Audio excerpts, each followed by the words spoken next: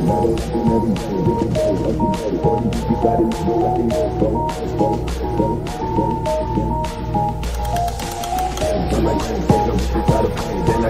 my kids, I got baby mama, nothing she a nympho.